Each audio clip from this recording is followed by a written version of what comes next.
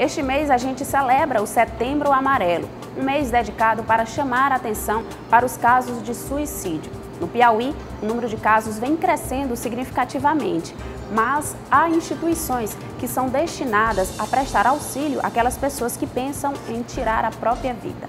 Carros, prédios, a cidade fica grande. Nas ruas dá para perceber que a população aumenta a cada dia. Cada um tem a sua vida e o seu ciclo de amizades.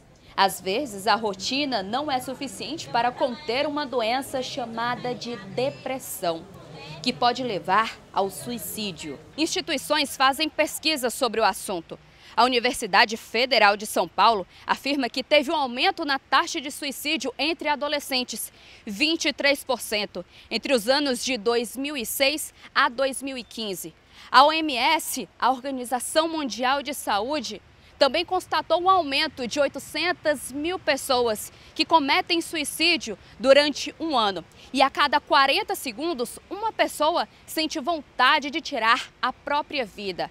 A OMS também afirmou que doenças mentais interferem diretamente nos casos de suicídio. O apoio da família é super importante para que o tratamento dê certo. Eu sempre falo que existe um tripé para que realmente situações como essa estruturem né, o sujeito diante de uma crise, por exemplo. É a família como o maior tripé de todos, de vigilância, de sustentação, de acolhimento, e depois a rede de profissionais. Até porque, geralmente, essa pessoa só vai chegar à ajuda através de alguém que ela tenha confiança. Os excessos eu reconheço como um grande sinal, né?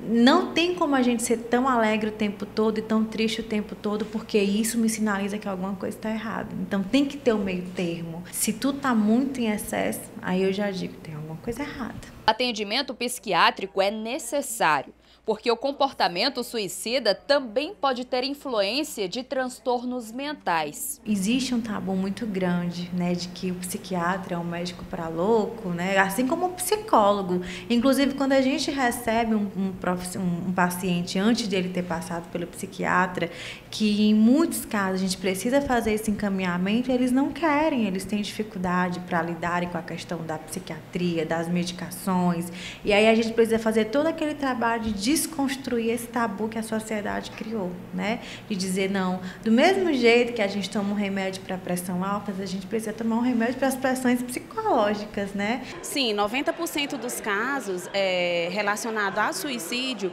eles estão associados a algum transtorno mental. Dentre eles nós temos a depressão, nós temos a esquizofrenia, os transtornos de humor, como a bipolaridade.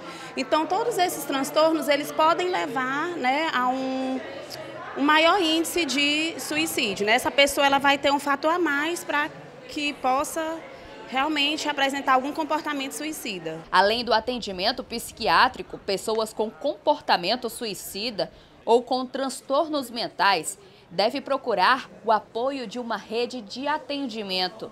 Pelo Provida, no Hospital Lineu Araújo, no centro, nos CAPS, em Teresina são sete no centro Débora Mesquita por agendamento pelo 86 99827 3343. O Centro de Valorização à Vida 188 para conversar. E em caso de urgência, o SAMU pode ser acionado pelo 192 e o Hospital Areolino de Abreu. Essa questão do suicídio é uma doença e as pessoas precisam entender isso.